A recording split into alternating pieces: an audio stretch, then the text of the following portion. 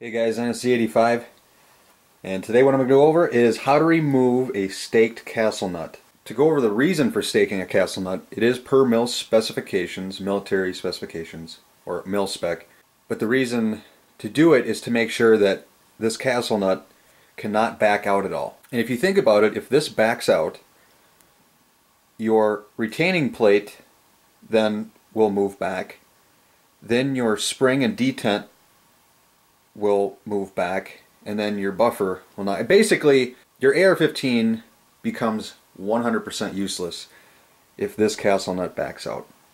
Now some people recommend using Loctite and things of that nature, and yeah, you can do that. There's a million ways to do one thing that all end in the same result.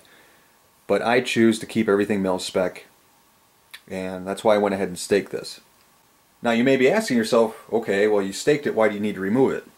Well my issue is is that this receiver extension or buffer tube it doesn't fit my stock very well.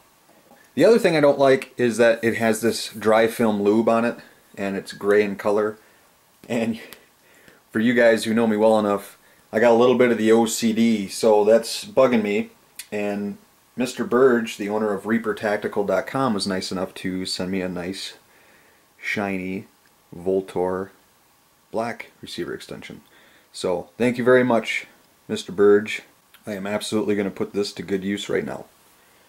So let's go ahead and get started on how to remove this. The only thing you're going to need is one of these wrenches, which if you build ARs you're going to have one anyway.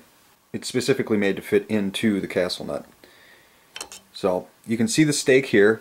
Let me zoom in a little bit so you can see it better. So there you can see the stake right there and how it looks.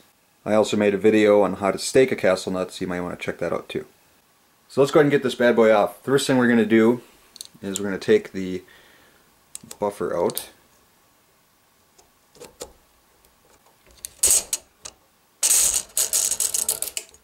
And you got to remember righty tighty lefty loosey. And I'm going to try doing it by hand first. And if that isn't possible then you just got to keep this in place and then whack the handle with a mallet. Let's try and give it. There we go. Seriously, guys. Everyone who says that, oh, you can't stake a castle nut, it's completely permanent. I just did that with hand pressure. So there you are, guys. That's how to remove a staked castle nut.